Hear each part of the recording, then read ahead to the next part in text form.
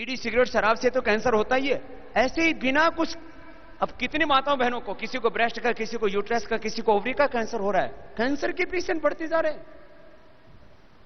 यदि देश बीमार होगा तो आगे नहीं बढ़ेगा। हमें अपने बच, बहुत तरह से देश को देखना है। सबसे पहले हमारा हिंदुस्तान रोग मुक्त होना चाहिए। घर में एक आदमी बीमार हो जाता तो पूरे घर में कोहराम मच जाता है। पूरे घर में एक चारों तरफ़ आँखों में आँसू, पीड़ा, कुछ नहीं रहता। एक घर में अरे बड़ी बीमारी को दवा छोड़ो, किसी का डेंगू भी हो जाए तो पूरा घर ऊपर नीचे हो जाता है। हमें इस देश को फिजिकली फिट रखना है, मानसिक रूप से तनाव मुक्त रखना है। आज किसी भी लेवल पर हो यदि हमारी चेतना का स्तर ऊँचा नहीं होगा तो आपस में तू तू मैमे के अलावा कुछ नहीं होगा। एक दूसरे को कोसने के अलावा कुछ नहीं होगा। एक दूसरे को दोष देने के अलावा कुछ नहीं होगा। हमें बहुत ऊँची मानसिक चेतना चाहिए, जहाँ हम स्वयं आगे बढ़े और सबको आगे बढ़ाने के लिए हम हौसला दें। ऐसा हमें देश बनाना है। ये बहुत ज़रूरी है आज के समय में। किसी भी लेवल पर देखो, चारों तरफ़ हमें उत्साह का वातावरण बनाने की आवश्यकता है। सकारात्मक वातावरण बनाने की आवश्यकता है। सृजनात्मक, रचनात्मक वातावरण बनाने की आवश्यकता है। ये एक दूसरा प्रसंग है। तो मैं कह रहा था, यह आध्यात्मिकता जहाँ आप फिजिकली पूरे फिट रहें मेंटली भी फिट रहें। देखो, ये फिजिकली फिट रहना कोई बिज़नेस नहीं है। हर एक को रहना चाहिए। अच्छा बताओ, आपने थोड़ी बहुत तो रामायण किसी ने कहानियों के माध्यम से किसी ने सीरियल के माध्यम से किसी ने ऐसे ही सुनी है राम जी को ब्लड प्रेशर था? बोलो। कहीं राम रामायण पूरी इतिहास है दस्तावेज़ है पूरा। रा, भगवान राम जी को जब सीता का हरण हो गया तो तो कोई ब्लड प्रेशर या डिप्रेशन हुआ? देखो भगवान राम जी को, कृष्ण जी को, लक्ष्मी जी को, दुर्गा जी को, सरस्वती जी को, किसी भी महापुरुष को ब्लड प्रेशर शुगर की बीमारी नहीं थी। इसका कोई प्रमाण नहीं मिलता। पूरे दस्तावेज़ है हमारे पास में। रामायण, महाभारत है, पुराण है। कहीं पर कोई बीमारी का ज़िक्र नहीं है। कोई पंडित जी ने किसी को बहका दिया हो तो बहकावे में मत आना। तो ये मैं मैं पढ़ के बता रहा हूँ। अगली बात। सारे हमारे महापुरुष फिजिकली फिट थे। आप किसी की प्रतिमा देखो। कितनी सुंदर प्रतिमा दिखती है सब महापुरुषों की। गुरु गोविंद सिंह जी का चित्र देखो। भगवान बुद्ध, भगवान महावीर, भगवान राम, भगवान कृष्ण, लक्ष्मी, दुर्गा, सरस्वती, और अपना मिलान कर लिया करो सुबह सुबह उठ करके। फिजिकली फिट रहना है। मेंटली फिट रहना है। सुबह उठ करके महापुरुषों का चित्र देखा करो। और वो हमारे आदर्श हैं, वो हमारे रोल मॉडल हैं, वो हमारे आइकॉन हैं। तो हमारा जीवन कैसा हो? तो आप मेरे साथ बोलेंगे जरा। आप उत्तर दीजिए। हमारा जीवन कैसा हो? हमारे पूर्वजों? इसमें क्या? छोटा सा हमारा जीवन कैसा हो तो अपने पूर्वजों जैसा हो। अरे मैं कह रहा था, योग हमारा स्वभाव है। योग हमारे खून में है। जैसे कोई बात बोली जाती है ना तो एक बात कही जाती है, बोले, ये हमारी संस्कृति नहीं है। जैसे कोई गलत काम करता है ना, कोई दुराचार, व्यभिचार करता है, भ्रष्टाचार करता है, गलत काम करता है तो बोलते हैं, भाई, ये हमारी संस्कृति तो हमारी संस्कृति क्या है? योग, अध्यात्म, सच्चाई, ईमानदारी, अहिंसा, सत्य। यही तो योग के सिद्धांत है। मैं आपको किताबों से, मैंने किताबें पढ़ी हैं। मैंने अष्टाध्यायी महाभाष्य, योग दर्शन, सांख्य, योग न्याय, वैशेषिक, वेदांत, मीमांसा, सब बहुत पढ़े हैं। लेकिन इसके, मैं आपको ना, आपकी भाषा में बताना चाह रहा हूँ कुछ बातें। तो योग हमारे खून में है। योग का आधार लेकर के ज्ञान, विज्ञान, तकनीकी, समय, कौशल, प्रबंधन, इसको किसमें परिवर्तित करना है? किसमें बोला था? वेल्थ में, समृद्धि में। और मैं उसका उदाहरण हूँ आपके सामने। मैंने जन्म से समृद्धि नहीं पाई है। मेरा जन्म किसी कॉर्पोरेट हाउस में नहीं हुआ है। मेरा जन्म किसी शंकराचार्य के खानदान में नहीं हुआ है। मैं किसान के घर में पैदा हूँ। अनपढ़ माँ बाप के घर में पैदा हुआ छोटे से छोटे से गाँव में पैदा हुआ हूँ। अब बात आ गई भाग्य की, उसके भी बाद में लूँगा। अभी मैं बात इतनी सी कर रहा हूँ पहले। एक बात याद रखना, मनुष्य के रूप में भगवान ने हमको पैदा करके दुनिया की सबसे बड़ी दौलत दे दी क्यों भाई जवान? क्या नाम है? हरिओम। बड़ा मज़बूत सा है। क्या फ़िज़िकल टीचर है क्या? हाँ ठीक है। फ़िज़िकल टीचर को ऐसे ही फिट रहना चाहिए। हाँ? चलो, पहले तो हरिओम के लिए ताली बजाओ। ये फ़िज़िकल टीचर तो है, लेकिन ये फ़िज़िकल टीचर जैसा लगता है। ना हरिओम? अभी मैंने क्या बात कही थी, याद है?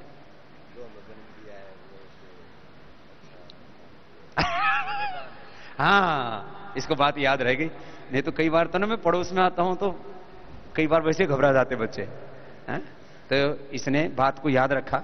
नहीं तो कई बार आदमी फिजिकली तो फिट रहता है, बोले, वो फिजिकली फिट है ना, बोले, इसमें दिमाग का टोप्पा भी नहीं है। हाँ कुछ ऐसे बोलते रहते हैं। ऐसा नहीं है। तो हरिओम के लिए एक बार ताली बजाओ, इसने बात भी याद रखी। बैठो बेटा।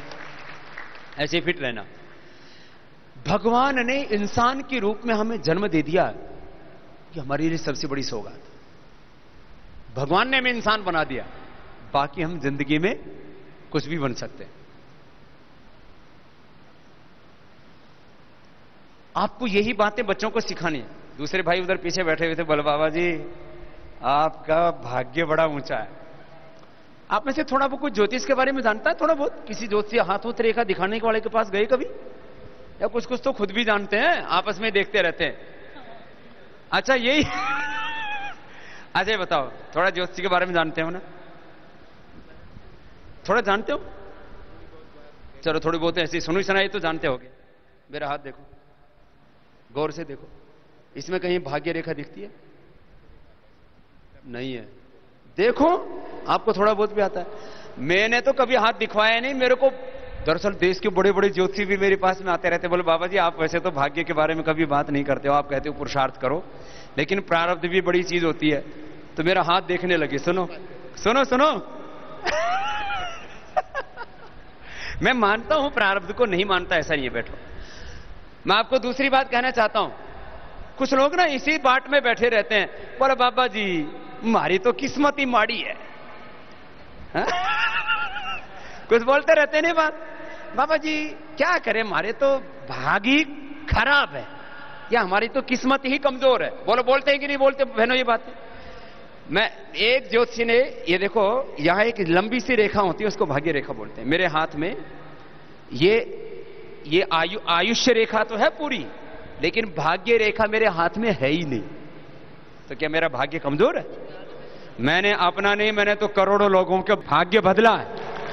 बात मैं आपको ये कह रहा हूँ कि इस बात के ऊपर कभी भी अपने आप को कोसना या अपने आप को दुर्भाग्यशाली समझना कभी नहीं। पाँच चीज़ें आदमी को बड़ा बनाती हैं। चलो, अब अगली बात शुरू करते हैं।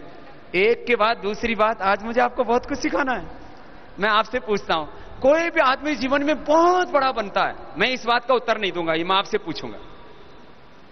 कोई भी आदमी दुनिया में बहुत बड़ा बनता है, किसी भी फ़ील्ड में, physically, socially, economically, spiritually, politically different aspect हमारी लाइफ के डिफरेंट फ़ील्ड है। तो किसी भी फ़ील्ड में कोई आदमी बहुत बड़ा बनता है तो उसको कौन बड़ा बनाता है? हार्ड वर्क चलिए यह उत्तर बहुत अच्छा। एक ये बहुत अच्छी बात है। इसको हार्ड वर्क को पुरुषार्थ बोलते हैं। पुरुषार्थ आदमी को बहुत बड़ा बनाता है।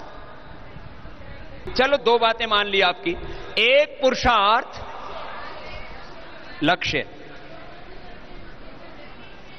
परमात्मा की कृपा। कॉन्फिडेंस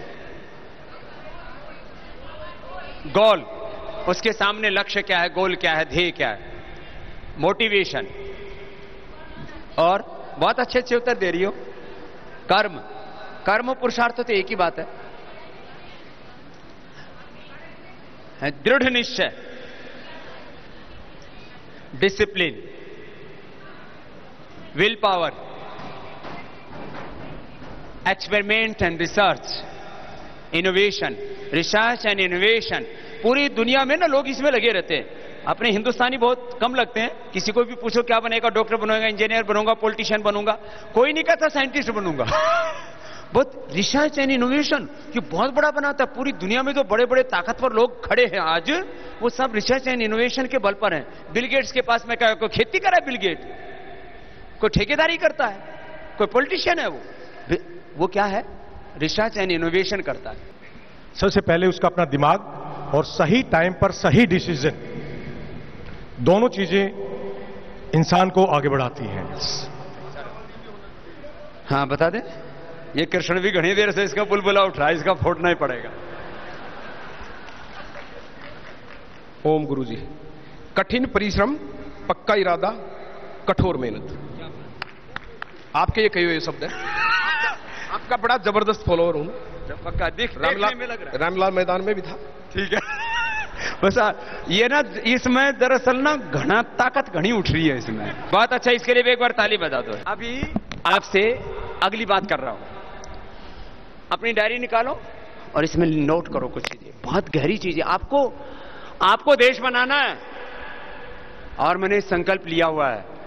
मेरी ज़िंदगी का आगे आने वाला जितना भी समय है उसका 80 प्रतिशत मैं एजुकेशन में ही लगाना चाहता हूँ इसलिए इस बात को कह रहा हूँ। ये बहुत बड़ा काम है। देश एजुकेशन से बनेगा। एक छोटा सा विचार आदमी की ज़िंदगी को बदल देता है। ज्ञान के आधार पर ही भारत और विश्व का भविष्य तय होगा। ये बहुत बड़ी बात कह रहा हूँ। द बेसिक फाउंडेशन जो लाइफ की होती है, वो किससे तैयार होती है? ज्ञान से नॉलेज से। और इसी के आधार पर आगे की सारी चीज़ें तैयार होनी है। ये बहुत बड़ा लक्ष्य है। इसके आगे की चीज़ों पर जरा आगे सोचिए। मैं आपसे पूछता हूँ। कोई आदमी डॉक्टर है? किस चीज़ से है? ज्ञान से? इंजीनियर है तो किससे? है ज्ञान से। बहुत अच्छा कोई किसान है। नॉलेज नहीं है। नॉलेज साइंस टेक्नोलॉजी इसके लिए एक के बाद दूसरा उसी का रूपांतरण है। उसी के दूसरे दूसरे रूप हैं। नॉलेज का इनपुट नहीं है एग्रीकल्चर में कुछ नहीं हो सकता। नॉलेज का ही अगला रूप साइंस है। टेक्नोलॉजी है। ज्ञान, उसका हिंदी में बोलते हैं ना, ज्ञान, विज्ञान, तकनीकी कौशल, प्रबंधन, और इसी को जब हम एग्जीक्यूट कर देते हैं, इनको रूपांतरित कर देते हैं किसी कार्य विशेष में तो समृद्धि बन जाती है। ज्ञान, विज्ञान ज्ञान, विज्ञान, तकनीकी, कौशल, प्रबंधन इक्वल टू समृद्धि। प्रॉस्पेरिटी और कुछ नहीं है। तो हमें यदि एक मनुष्य को बहुत महान बनाना है। एक देश को बहुत महान बनाना है। तो उसको ज्ञानवान बना दो। जब भारत ज्ञान शक्ति में दुनिया का सिरमोर था, तब वो विश्व गुरु था तो विश्व की महाशक्ति था, तब वो जगत गुरु था। अब अगली बात।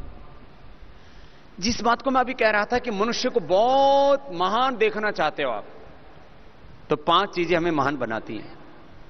पुरुषार्थ, प्रारब्ध। प्रारब्ध को आप पहले भी लिख सकते हो, क्योंकि फाउंडेशन तो प्रारब्ध की होती है। ये जो हमारे अनेक जन्मों का कर्माशय कर्मफल व्यवस्था, न्याय व्यवस्था जिसको भगवान की कहते हैं, सबके भीतर देखो, एक जैसा एक जैसा बुद्धि का स्तर नहीं है। क्यों? क्योंकि पिछले प्रारब्ध भी है। सबका एक जैसा स्वर नहीं है, क्योंकि ये प्रारब्ध है। सबके एक जैसे भावनाएँ नहीं है चित्त में। दिल एक जैसा भावनाएँ नहीं है। सबका एक जैसा स्वभाव भी नहीं है। कुछ बच्चे स्वभाव से ही, ये बहुत बड़ा सत्य है। ये क्या है? ये कर्मफल व्यवस्था है, न्याय व्यवस्था, मैं इसको मानता हूँ। लेकिन मैं मानता हूँ प्रारब्ध की बहुत बड़ी भूमिका है। प्रारब्ध कोई भाग्य बोलते हैं, किस्मत बोलते हैं डेस्टिनी बोलते हैं अलग अलग शब्द अंग्रेज़ी में डेस्टिनी बोलते हैं। वैसे उर्दू आदि में आम भाषा में किस्मत बोल देते हैं, वैसे उसको भाग्य भी बोल देते हैं। इसके लिए बहुत ऊँचा शब्द है प्रारब्ध। क्या शब्द है बोलो? प्रारब्ध। लेकिन प्रारब्ध से भी ज़्यादा बलवान पुरुषार्थ होता पुरुषार्थ करके प्रारब्ध को भी बदल सकते हो। तो मनुष्य को महान बनाता है उसका प्रा, प्रारब्ध और पुरुषार्थ। जिनका प्रारब्ध बहुत ऊँचा नहीं होता है वो ऐसा ही समझो कि धरती तो बहुत अच्छी है पानी बहुत अच्छा है मिट्टी बहुत अच्छी है फर्टाइल मिट्टी है लेकिन बीज ही खराब है। तो उसमें फ़सल अच्छी नहीं होती है। गाय की नस्ल बहुत अच्छी है लेकिन जिस नंदी से उसको नया करवाया क्रॉस करवाया। वो वो पाँच किलो दूध देने वाली गाय का बछड़ा था। अब उसकी तो नस्ल होगी वो पचास किलो वाली दूध देने वाली भी गाय है। ये मैं आपको इसलिए उदाहरण दे रहा हूँ। मैंने ज़मीन का भी उदाहरण दिया मैं पशु का भी उदाहरण दे रहा वो आदमी भी, भी हंस रहे इसका। प्रारब्ध की भी एक भूमिका है। इसलिए ऊँचे प्रारब्ध वाली आत्माएँ उनको बोलते पुण्यशील आत्मा। उनको बोलते हैं कुलीन आत्मा, ऐसे शब्द प्रयोग किए जाते हैं। कुलीन का मतलब कोई बहुत बड़े खानदान में पैदा हो गया, उसको नहीं बोलते हैं। ये ऊँचा प्रारब्ध जिसका होता है, वही पुण्यशील आत्मा होती है, वही कुलीन आत्मा होती है। ऐसी, ऐसे शास्त्रों में परंपरा है इसकी बहुत बड़ी, कि अच्छी आत्माओं का चयन करो। बहुत बड़ा सत्य है। प्रारब्ध। दूसरा है पुरुषार्थ। तीसरी जो चीज़ है जो व्यक्ति को बहुत महान बनाती है, वह है वातावरण। और ये आप लोगों की बहुत बड़ी ज़िम्मेदारी है। चाहे किसी का थोड़ा कमज़ोर प्रारब्ध है, थोड़ा पुरुषार्थ कमज़ोर है तो भी वातावरण ऐसा दो इन्वायरमेंट इन्वायरमेंट बहुत बड़ा शब्द है। इन्वायरमेंट ऐसा दो, जैसे बातें बहनें बोल रही थी ना, उत्साह। उत्साह का वातावरण दो। वातावरण कैसा दो? वातावरण दो, सकारात्मकता का।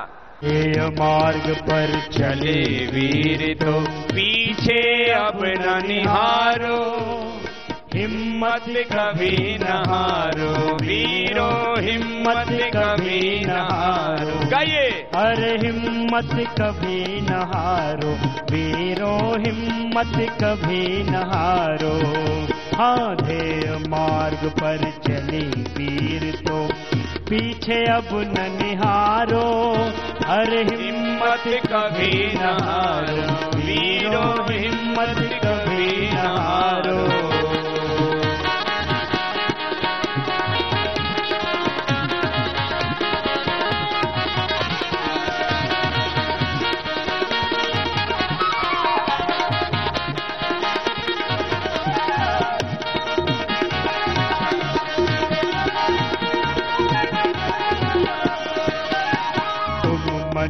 मनुष्य हो शक्ति तुम्हारे जीवन का संबल है।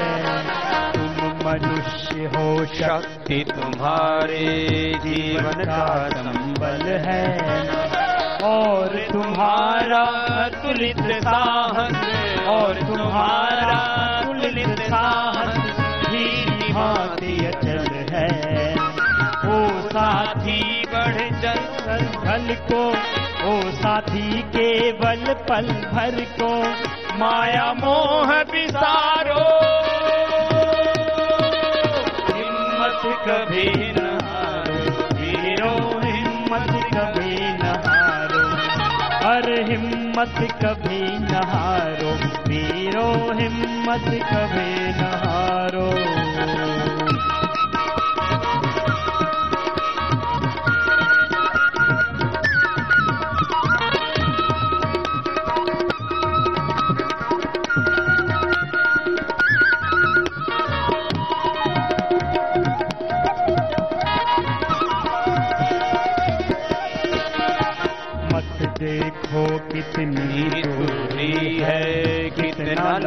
पथ है।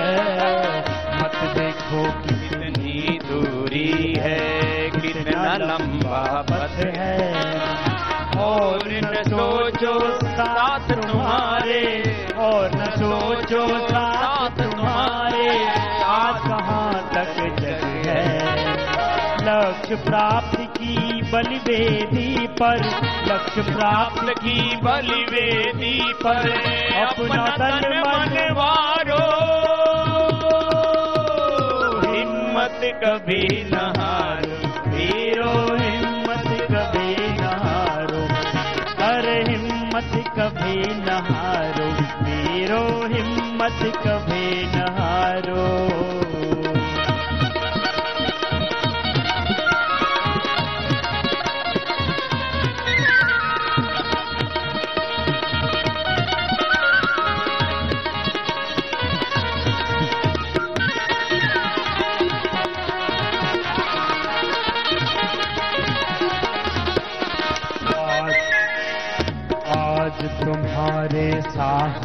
पर ही मुक्ति सुधा निर्भर है। आज तुम्हारे साहस पर ही मुक्ति सुधा निर्भर है। आज तुम्हारे स्वर के साथी आज तुम्हारे स्वर के साथी कोट कंठ के स्वर हैं। ओ साथी बढ़ चलो मार्ग पर। ओ साथी, बढ़ चलो मार्ग पर। आगे सदा निहारो। हिम्मत कभी न हिम्मत कभी न हाँ हिम्मत कभी न हारो। हिम्मत कभी न हर। मार्ग पर चल वीर तो। पीछे अब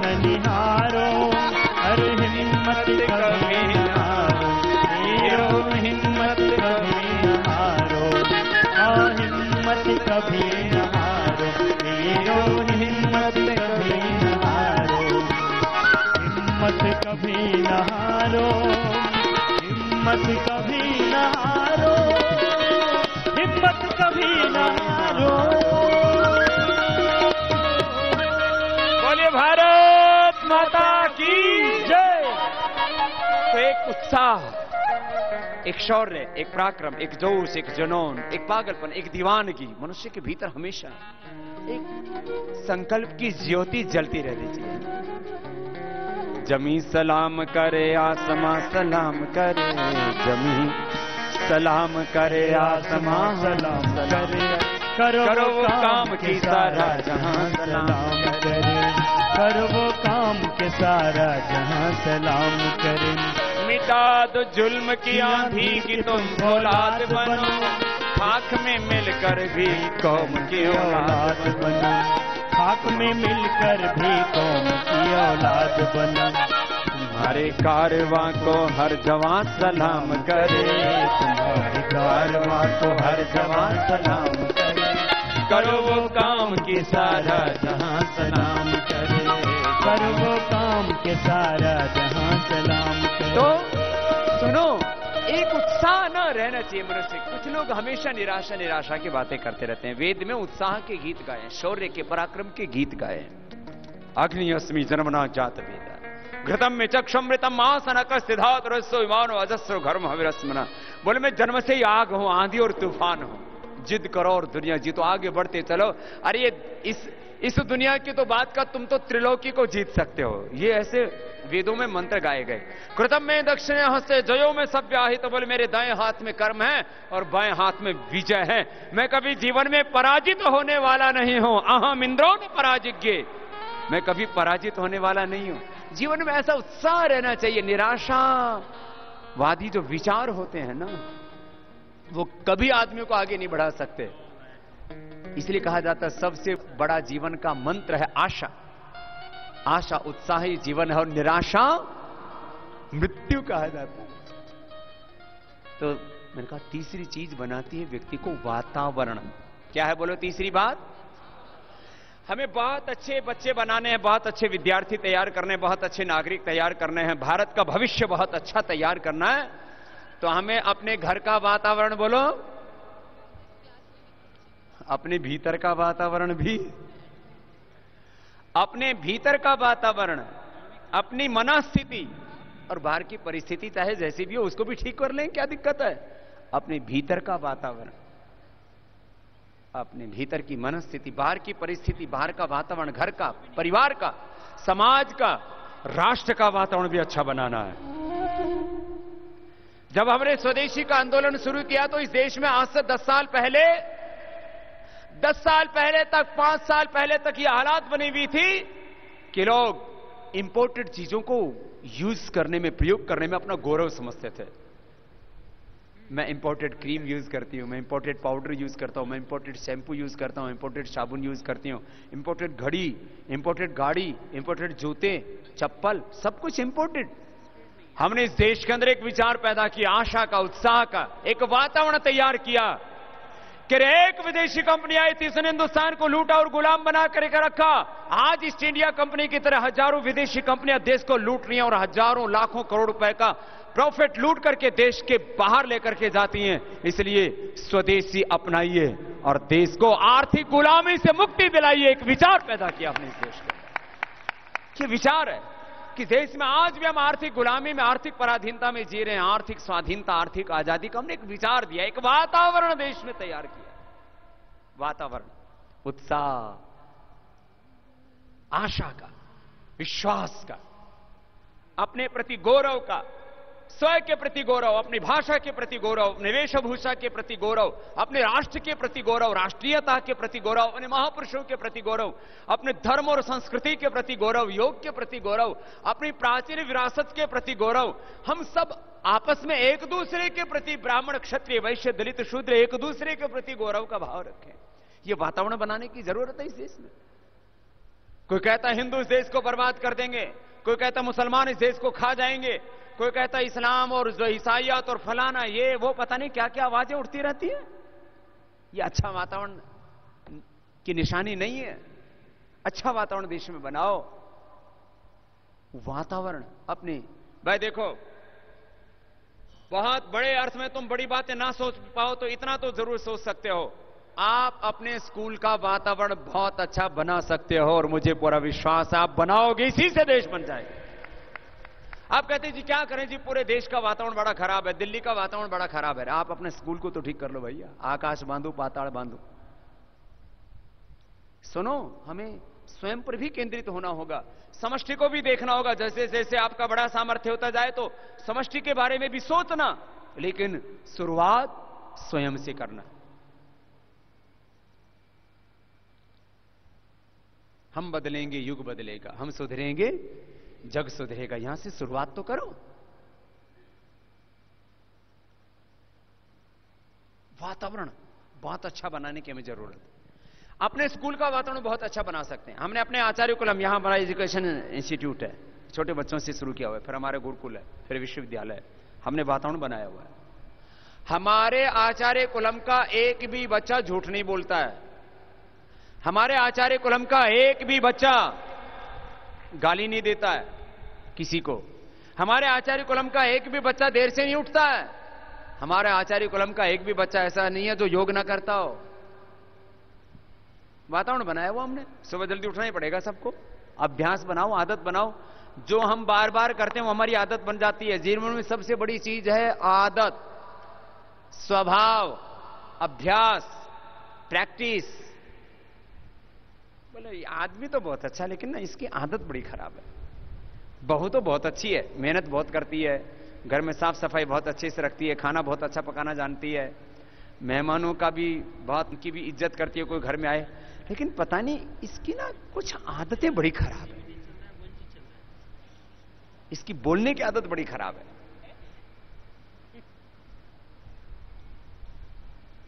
बहुत सी बातें आप सुनते हो रोज। आदत बहुत बड़ी चीज़ है। आप बच्चों की अच्छी आदत बनाइए। जो बचपन में आदत पड़ जाती है ना, वही ज़िंदगी भर रहती है।